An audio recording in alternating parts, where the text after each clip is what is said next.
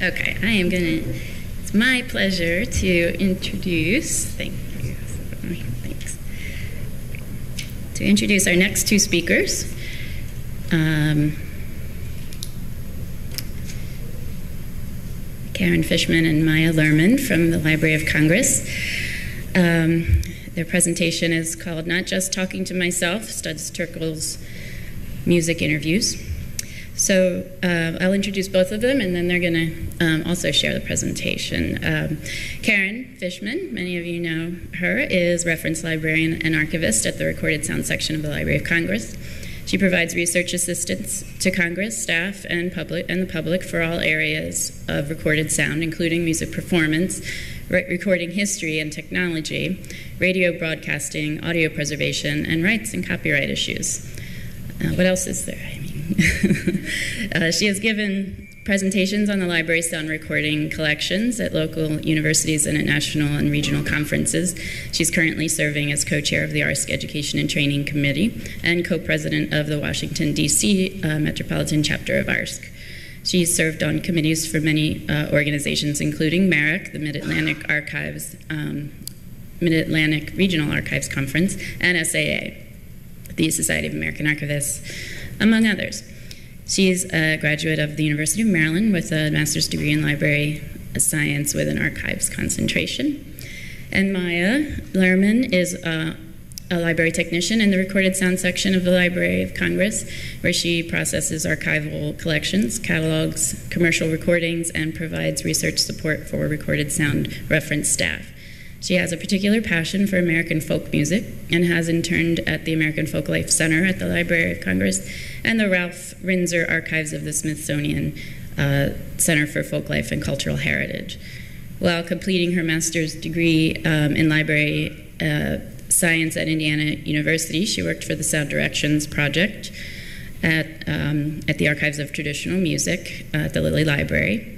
Uh, she's been a member of ARSC since 2009 and is also a member of IASA. She currently serves on the ARSC Education and Training Committee also. And as a singer and guitarist, she's released her first album uh, in 2012 called Take This Song With You. So uh, please welcome. so, first, we're going to hear from Karen. and I'm going to, as promised, have this all glitch free here for you. Okay. Oop. And we're going to go back to the beginning. Okay. Thanks so much. I don't do technology, I just do content, so um, thanks for your help, Kim. And good morning. Over the years, Studs Terkel produced a vast collection of recorded oral histories and interviews that reflect the expertise and eclectic interests in music, literature, art, history, and politics. Our presentation today will showcase highlights from the Studs Terkel collection, focusing on his interviews with musicians and some others. Um, we're going to talk about Mr. Terkel and the contribution and his contributions to music and oral history. We'll describe the collection and the library's partnership with the Chicago History Museum, and then play some examples of how the recordings reveal a deeper understanding of the performers and their music. We'll conclude by posing some potential questions researchers might want to pursue as record, more recordings become available. Um, a little background about Studs. He was one of the most uh, best known and influential interviewers and practitioners of oral history. As a radio program host, news commentator, sportscaster, and disc jockey, as well as a Pulitzer Prize winning author, he observed and documented people's thoughts and opinions throughout the 20th century. Engaged in a lifelong conversation with America, he earned the title of the nation's most prolific oral historian. Terkel was widely credited with transforming oral history into a popular literary form. He also liked to think of himself as a raconteur, a teller of stories for public entertainment, someone who didn't want to just interview people, but have a conversation with them. And according to author and music critic Anthony DeCurtis, Studs viewed the opportunity of speaking to others as an adventure, a journey of discovery, a continued source of delightful surprise. In addition to his work in television and radio, Terkel wrote a total of 18 books. These works documented the lives and stories of many Americans and the issues they faced. His books examine the Great Depression, World War II, race relations, working life in the American dream, as well as focusing on music and performers. Terkel was born in the Bronx in 1912 on May 16th. Last Thursday would have been his birthday. At an early age, his family settled in Chicago, where his mother took over the management of a rooming house and later a residential hotel. Terkel has said his formative education came from living and working in the hotel and by listening to the spirited discussions that occurred nightly amongst the working class residents. This helped shape his views of the world. After graduating from the University of Chicago, he went to law school, passed the bar, but never practiced. Instead, after working many different kind of jobs, he joined the radio division of the WPA Federal Writers Project. He wrote scripts for programs that aired on the Chicago radio station WGN. It was also that at this time, Terkel auditioned for and found work as an actor, most often playing a gangster.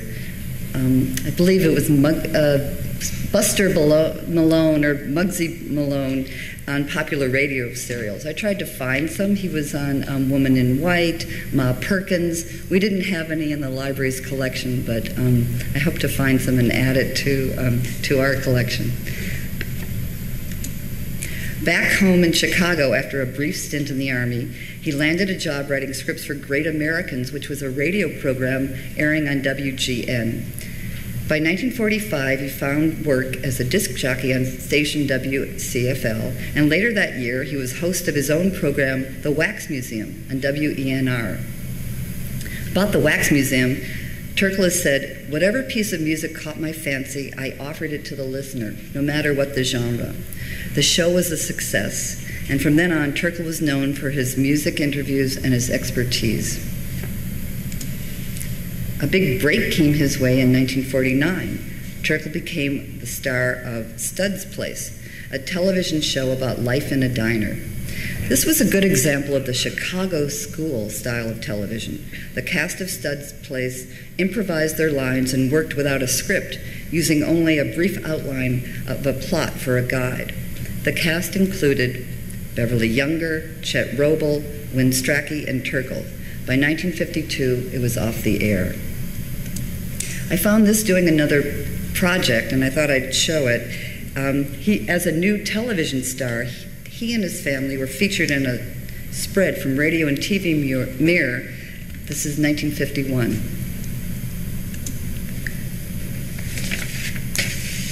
Terkel was hired by station WFMT in 1952 to host a music show. Adding what came naturally to him, he started to include interviews, and the show grew into the award winning Studs Terkel program, which broadcast daily for 45 years. His guests on the show ranged from local Chicagoans to international figures, historians, writers, musicians, social activists, and labor organizers. Through his radio program, he was able to support many artists such as Mahalia Jackson, Bill Big Broonzy, and Pete Seeger, and help to promote their musical careers. Now it's Maya's turn to finish.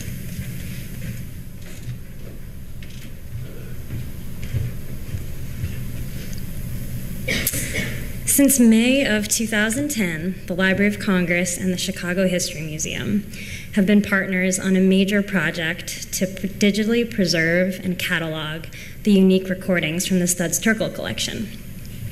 The collection consists of approximately 7,000 sound recordings, which include most of Terkel's book interviews and WFMT radio programs. The WFMT radio programs comprise over 5,800 open reel tapes, both 7 and 10 inch, and the book interview recordings include about 800 open reel tapes and 1,300 cassettes. To preserve the recordings, the library is creating master and derivative files for both the Library of Congress and the Chicago History Museum. File names will be added to the museum's inventory database so that they can match the original tapes with the digital files. And after the project is completed, the original sound recordings will be returned to the Chicago History Museum. From an early age, Terkel was enthusiastic about music and educated himself about a wide variety of musical genres. He had a particular passion for opera, jazz, and blues. Chicago, being such a rich musical city, um, offered Terkel a diverse environment to pursue and seek out live music. Through his radio programs, Terkel could satisfy his curiosity about music and performers, and he could introduce his audience to music that they might not have been familiar with. He interviewed both unknown and famous musicians, which illustrated his belief that every person had an interesting story to tell. Terkel's fascination and curiosity about people were key to his interview style. He was always well prepared and for his interviews and carefully would read and study the works of his guests. But on the other hand, whenever he interviewed anyone outside his radio studio, um, he often had to ask his guests for help in setting up his tape recorder. Turned out this worked to his advantage and would relieve tension or nervousness between him and his guests. Terkel has said that he improvised the direction of his interviews depending on the responses to his questions.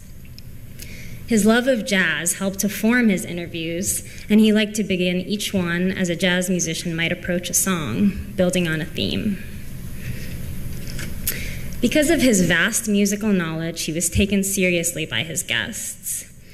By not asking probing or personal questions, treating his guests with respect, and listening to them, he felt they would repay him with honesty and truth. In fact, Terkel explained that the gentlest question is the best one. This approach often made his guests more comfortable to express details about themselves and about their music and what it meant to them.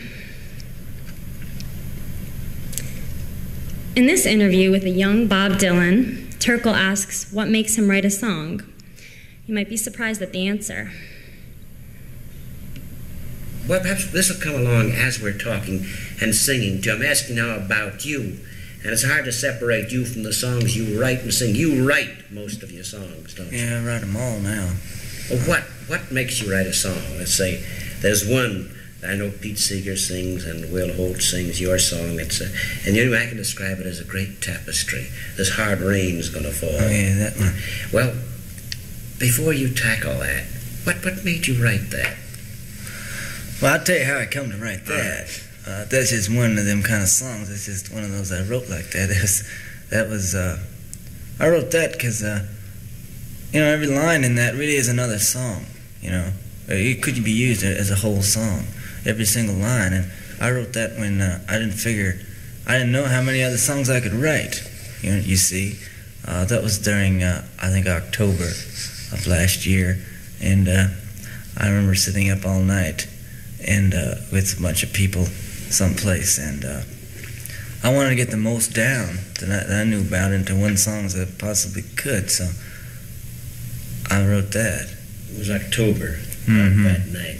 What? That was during a crisis. Yeah, that was during that uh, uh, blockade. I Mhm. guess is the word. During Cuba, and you worried. So you put yeah, I was, I was a little worried. I can't say I was. Uh, I was, I was so say you were surefire. elated. Uh, uh, I was- yeah, I was a little worried. Maybe that's the word.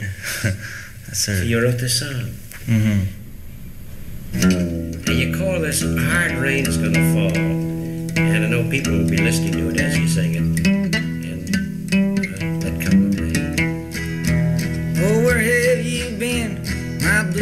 Son? Uh, and where have you been, my darling young one? As you heard, Dylan felt like he might never be able to write another song since the country was in the midst of the Cuban Missile Crisis. In answering the question, What makes you write a song? Dylan talked about his motivation and his thoughts and feelings that brought him to write A Hard Rain's Gonna Fall. This interview with Janis Joplin was conducted in a noisy dressing room. Terkel asked Joplin how she came to the blues in her hometown of Port Arthur, Texas. Her response tells of her first introduction of the blues and how she found Bessie Smith as an inspiration. But you, uh, how'd you come? Gin House I'm just curious. Port Arthur itself. Oh, it was very strange. Somebody uh, played a Lead Belly record for me one day, and I just freaked. I really liked it, and uh, I started listening to a lot of Lead Belly, and then I started reading books on blues that I found in the library, Port Arthur Library, and uh, they kept mentioning Bessie Smith, and I said, "Wow, I had a chick blues singer," because I hadn't, hadn't even heard one before. So I ordered all of her records, you know, from where, oh yeah, I had to order them from some strange mail order house, you know. I didn't sell them in Port Arthur. And I just fell in love with. In the second clip, Terkel's curiosity about why Joplin wasn't interested in popular music of the time reveal, allows her to reveal that it was the soul and truth of the blues that really resonated with her. Coming back to you, and so that was the beginning of the records. Do you remember when you first, this is curious, going back again, and you hear Yeah, I was about uh, 15, 16. and it caught you. Yeah, I never I didn't listen. You know, like kids listen to radio and all. I never listened to radio. I didn't ever get into that rock and roll trip. Or I just listened to blues. You know, I'm curious to know, uh, without probing too much, Janis, why it was a, a black woman's blues caught you, a white kid of Texas, rather than pop records, say, whether Patti Page. Why was it that? I have absolutely no idea. I don't know. I just liked your music. It seemed real. It seemed real. It didn't seem the others seemed so tacky, teenagey. It didn't seem to have any truth in it or something. I don't know. I don't know. I just liked it from the minute I the first one I ever heard. I was just that was my music. I always liked it. Terkel liked to educate his audience about different types of music, and jazz was one of his major passions. In this clip with pianist Oscar Peterson, Terkel wants to expand what his listeners might consider great music, since WFMT was primarily a classical music station at the time. This is this is very fascinating. An instrumentalist. We'll come to the matter of uh, later on, perhaps the matter of Oscar Peterson, the vocalist. And Oscar Peterson, this uh, the consummate instrumentalist, thinks of the lyric, the words here, and you think of the words of the tune, though you play a wordless instrument. Yes. Well, you, you think of the in words of the way- tune. This colors what you do. Yes, definitely, because I think that helps to, to sustain the feel of the tune. Yet, uh, actually, this, it is, in a way, I don't consider it a wordless instrument in that it, uh, it speaks. The minute you strike it, it speaks. It has its own language, of That's course. right. If we may, this is by way of introducing many WFMT listeners. I know a great many listeners uh, have not heard jazz, this being primarily a classical music station. Many want to know about it. And we're talking now to perhaps the finest of jazz pianists today, Oscar Peterson. In the next clip, Terkel draws parallels to classical music as he knows both the music and his audience. He asked uh, Peterson about Peterson's humming, which launches an in-depth and articulate explanation about Peterson's process and technique in playing and improvisation. Oops. As you were playing a moment ago, the clusters, you did something, and this I was going to ask you this uh, later, but it, now's the time. You were humming as you were playing, and this is again rather intriguing. Toscanini, when conducting, and often uh, a lot of recordings after rehearsals, was humming. There was a rehearsal of Traviata, and he was humming as he was playing. Now, would you mind explaining? Well, this, Why- this perhaps could have a, a, a dual reason, Studs. Uh, first of all, when I started music, I played, initially played trumpet. Uh, but due to illness, I changed. I reverted back. Because I started trumpet and piano. Due to illness, I reverted back to piano. Uh, that could be part of it. Uh, holdover from the trumpet playing days. But basically, what it is, it's a matter of inflection and articulation. Uh, I think, or I pre-think my phrases, and pardon me, being uh, being employed playing this particular instrument, uh, I try as much as possible to get a, in certain places, a sort of a fluid uh, attack, the way a horn would. In other words, to run one note into another to bend a note, uh, such as if I sang. Um, I would try to get that same in, impetus on the notes. Instead of the disjointedness.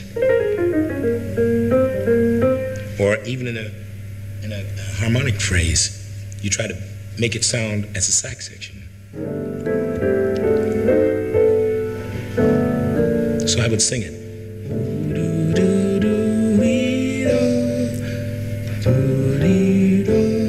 And it also helps me with my pedaling. Then I know exactly where to hold over. Uh, basically, it's a, a bit of a bug sometimes in, in a recording studio, but it does help me as far as my artic- articulation. It's a habit that I've developed. Blues pianist Memphis Slim sits at the piano during this next interview.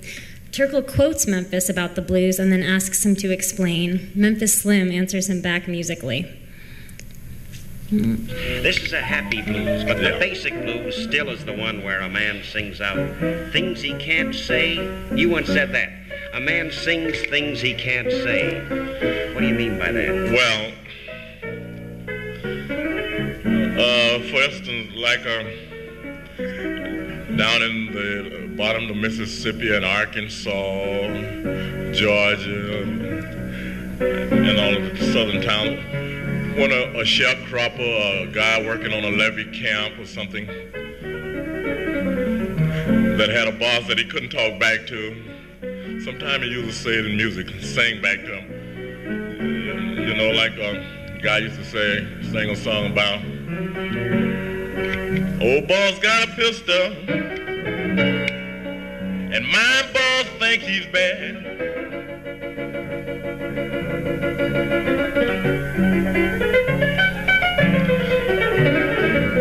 My boss got a pistol, and my boss thinks he's bad.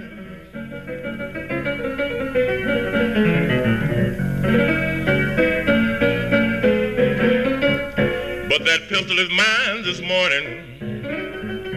He makes me mad. Singing the Never blues think now. you can. If you said this directly, you'd be in trouble. Oh, it's definitely. But you can sing it. He thinks about somebody else. As long as you're singing, as long as you're singing, you're uh, okay because he hardly paying attention to what you're saying anyway. You're just getting it off your chest, you know. In the next clip, Terkel asks what's the secret of Boogie Woogie and displays his knowledge of blues styles by asking Memphis to demonstrate different bass lines. Well, how would you? What is? It what's the uh, the secret of boogie woogie? Is it both hands? Is it the rolling bass? Is, is it that the uh, the left hand is so strong? Yes, it's more or less the left hand because if you can't play the boogie woogie bass, it really doesn't matter what you're doing with your right hand if you're playing it with your left hand. Well, before you start that, Memphis, would you mind pardon? What do you mean when they say rolling bass? Or they say walking. Can, can you give a demonstration of the difference? They say four to the bar, eight to the bar. Is there a way of explaining that musically? Well, the walking bass, Yeah. you can you can play a walking bass with, with a boogie woogie. Sing.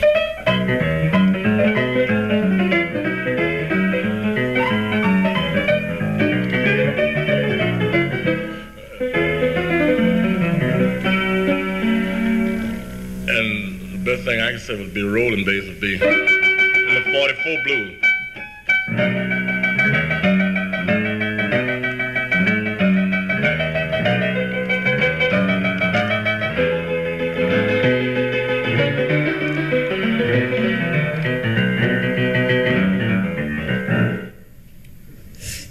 Terkel made lasting contributions to the world of music and oral history. His 45 year career on the air left a collection of recordings that are a rich resource documenting American life and the evolution of political and social thought. His interviews with musicians provide us with insight into their lives and the development of their music. The short clips we played are just a tiny fraction of the wealth of rich content available in the Studs Terkel collection. The collection provides additional resources for research on Terkel himself, as well as all the people he interviewed. Researchers may want to trace Terkel's history from a radio disc jockey to a renowned oral historian, study different interpretations of musical styles, or examine the nation's responses to historical and cultural events throughout the 20th century. These are just a few examples of how the collection might be used. Currently, about a quarter of the collection is digitized and available in the Recorded Sound Reference Center at the Library of Congress.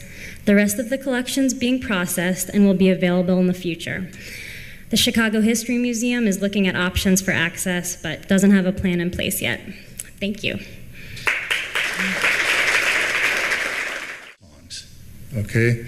My second question regards uh, Studs Terkel. Yes. Uh, I understand that he not only wrote 18 books, but he had a daily radio program over many, many years. So he could not possibly have done that by himself. He must have had staff, a rather large staff at that, to research his interview partners, uh, to, to contact the people, to prepare the questions. Um, have you found any such metadata and have you tried to talk to the people who prepared his radio programs? Uh, well, I don't. I, I know that he had a lot of staff at WFMT to help him. There's um, a couple books that document that with um, his staff uh, to do exactly what you said to help prepare, find, you know, help him do this. Um, but no, we didn't interview them because that's not part of the collection. We are just um, inter- our presentation and, and what we're doing is just the collection from the Chicago History Museum that they have. So um, I'm sure there's more documentation and, and about that. But what we were talking about was just what we've received from the you know, um, Chicago History Museum. Um, a question for both of you. Once you have reproduced the original source material onto the medium that you then use for your day to day research needs, what's your policies and technology that you use for the long term storage of the original medium? And what's your policy for somebody if they come in and request to listen not to the first generation reissue, but to the original source material? Well, as far as I know, and um, the original source material goes back to the Chicago History Museum, and we'll have the we have will have made copies of that, um, and so anyone can listen to them, can come in and request to listen to them at our reading room in Washington D.C. Um, so, are you asking if you want a copy of the material, or as for the long-term storage, they're I can. Hard drives. They're on hard drives. I'll let Maya. The, the question essentially is Does the original material then become especially cocooned for very, very long term preservation, or does it just become n- subject to normal archival protocols?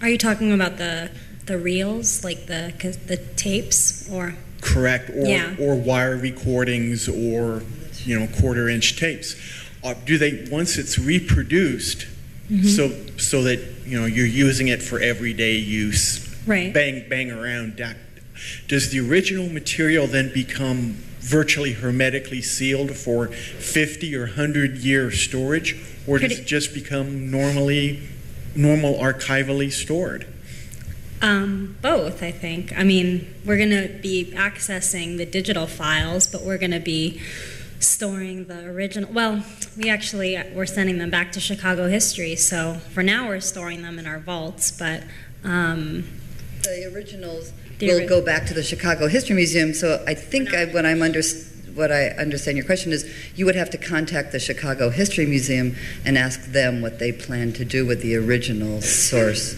materials. I'll just Um, mention, since I, I know they're set up there, they have cold, they have, they have cold storage. They have a very good cold storage facility, and so I imagine those are going back, and they will attempt to remove from use anything that's been copied. Uh, But, The uh, lib- the lib- also with the library, the library's Yeah. policy Yeah. is to preserve, but all, you know, not, not to transfer, but to also preserve the original. Yeah. You know, those are always kept, and they're kept in archival conditions. But we won't have the, The- we're not having the originals. We're not gonna keep those. Right. yeah.